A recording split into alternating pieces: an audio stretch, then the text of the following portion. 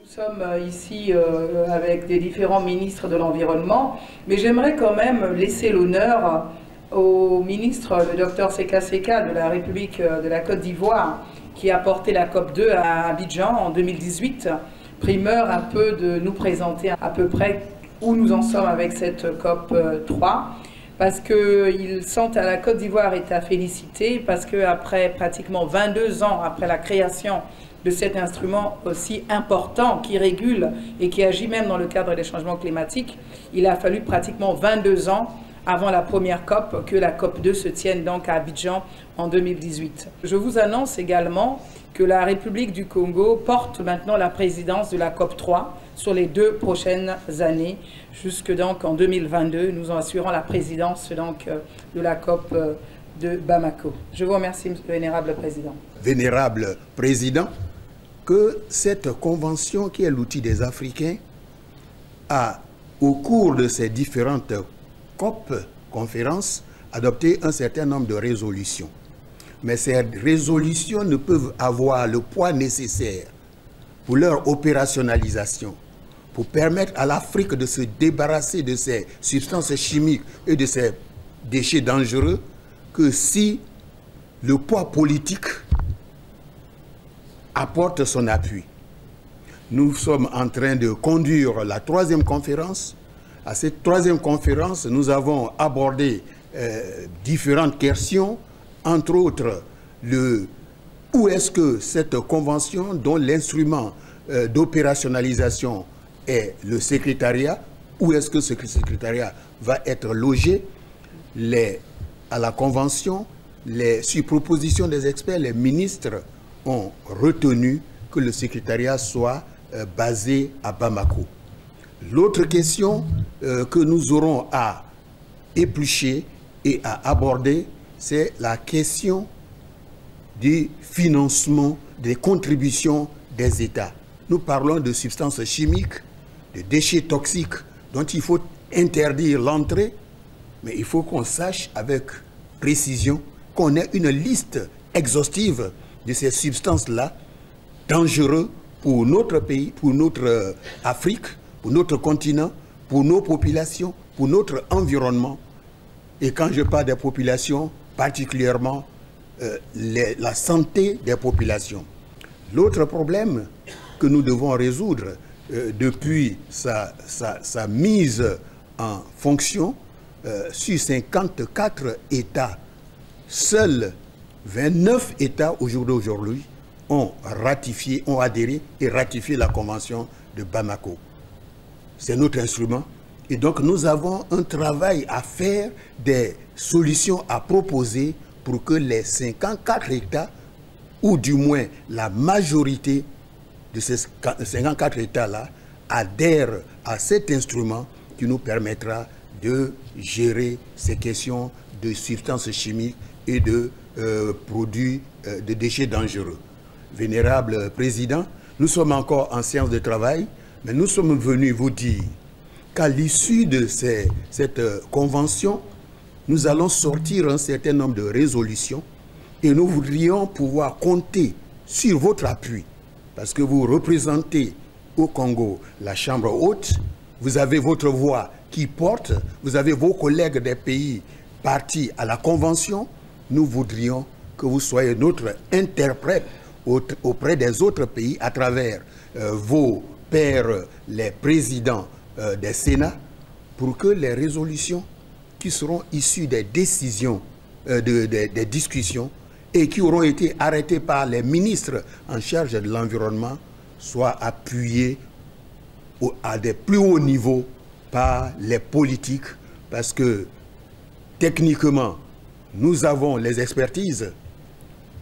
Financièrement, il nous faut un appui. Il faut un appui pour que la Convention puisse avancer. Et puis politiquement, il faut que ces résolutions-là soient crédibles et puissent être opérationnelles pour permettre à l'Afrique de cesser d'être la poubelle des pays industrialisés.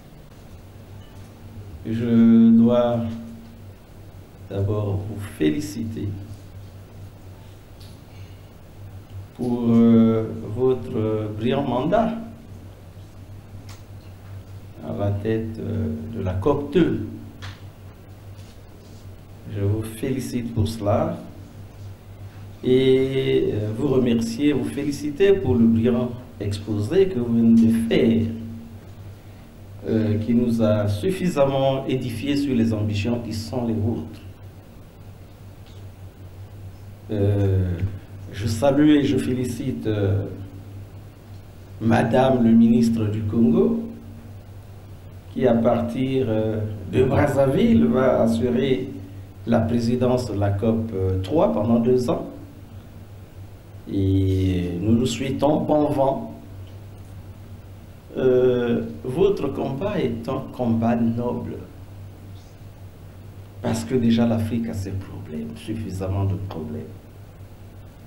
L'Afrique n'a pas de moyens pour faire face aux problèmes qui sont les siens. Et donc, euh, une situation comme celle-là est une situation préoccupante.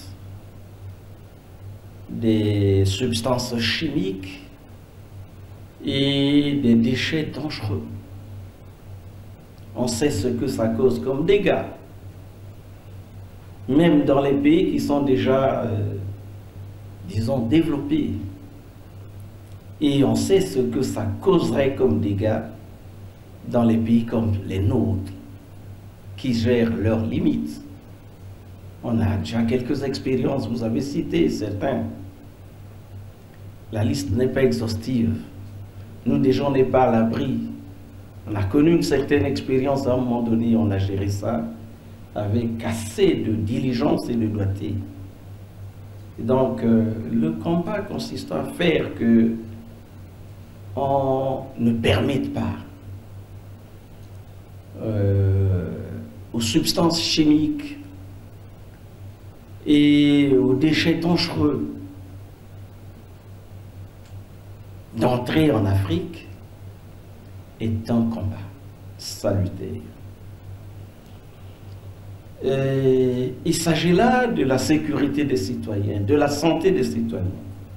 Je dois vous dire que le Sénat congolais est sensible à ce qui touche à la vie des citoyens. C'est-à-dire que vous n'avez même pas besoin de nous interpeller. Votre combat est notre combat. Vous avez notre soutien. Nous vous apporterons tout l'appui requis pour que les initiatives que vous prenez, les résolutions que vous prenez, aient véritablement un effet sur la vie des citoyens. Donc, euh, notre appui est acquis d'avance.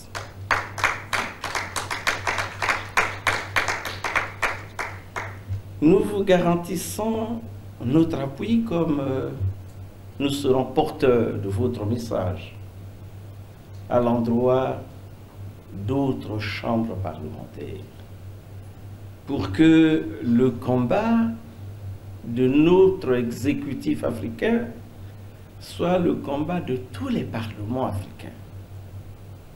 Déjà, en, vous priant de transmettre à mon frère Jeannot Poidio, président du Sénat de Côte d'Ivoire, le message sur euh, notre rencontre imminente portant sur l'installation de l'Association des Sénats d'Afrique, en vous priant de porter ce message, je vous dis que l'appel que vous avez lancé sera transmis à tous les Sénats d'Afrique, euh, qui vont sous peu se constituer en un espace, un espace des Sénats d'Afrique, appelés à s'organiser pour parler avec les autres d'autres continents, pour parler entre nous sur nous, sur l'Afrique et sur notre combat. Donc euh, je voudrais juste vous dire ça. Encore une fois, je vous souhaite bon séjour à Brazzaville. Et j'espère que vous partirez de Brazzaville en gardant de bons souvenirs et en regrettant de partir. Merci.